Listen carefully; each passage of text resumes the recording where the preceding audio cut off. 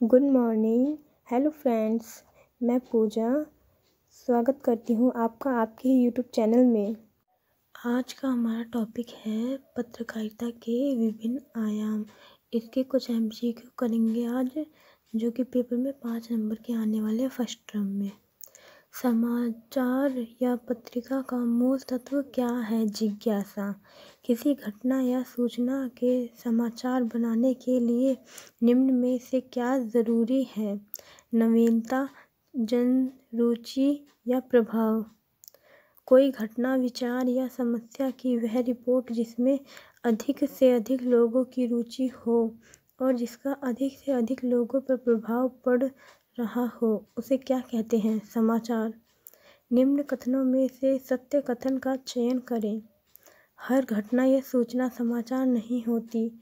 वह समाचार किसी न किसी रूप में सार्वजनिक महत्व होता है। सूचना एकत्र करने से लेकर पाठकों तथा समाचार पहुँचाने की पूरी प्रक्रिया क्या कहलाती है? पत्रकारिता।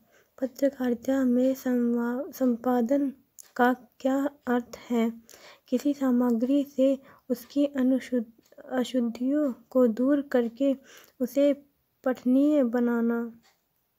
निम्न में से समाचार संपादन का सिद्धांत है। तथ्यों की शुद्धता, वस्तुपरता, निष्पक्षता। लोकतंत्र का चौथा स्तंभ किसे कहा जाता है? पत्रकारिता को। पत्रकारिता की कितनी बैसाखियाँ मानी जाती हैं। चार संतुलन स्पष्टता सच्चाई व निष्पक्षता। निम्न में से पत्रकारिता का गुण क्या है? संदेश क, संदेह करना।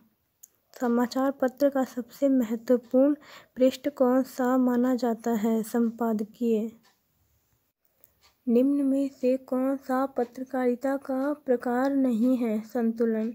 निम्न में से कौन सा पत्रकारिता का प्रकार है? वॉचडॉग, खोजपरख, व पीत पत्रकारिता। संपादक के नाम पर समाचार पत्र में कौन से पृष्ठ पर प्रकाशित होता है? संपादकीय पृष्ठ पर। अनियमितता और गड़बड़ियों को उजागर करने वाली तंत्रिका को क्या कहा जाता है?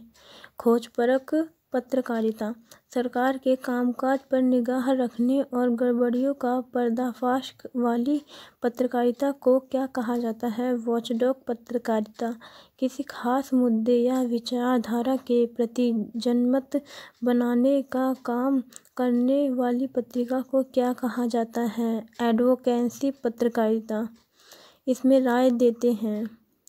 सही समाचारों की अपेक्षा कर के करके सनसनी फैलाने वाले या ध्यान खींचने वाले शीर्षकों का बहुताय में प्रयोग होता है। उस पत्रकारिता को क्या कहा जाता है? पत्रकारिता। पेज थ्री पत्रकारिता क्या है? समाचार के पेज नंबर थ्री होते हैं। वे सेलिब्रिटी सेल सेलिब्रिटी या अमीरों के व्यक्तिगत जीवन के बारे में जानकारी प्रकाशित होती है।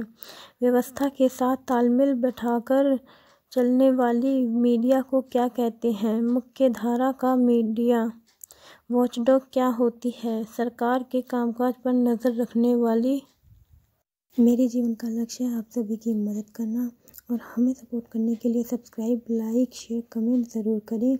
कमेंट करके बताएँ हमारी क्या गलतियाँ हैं और आगे आपको किस चीज़ की वीडियो चाहिए। Thank you.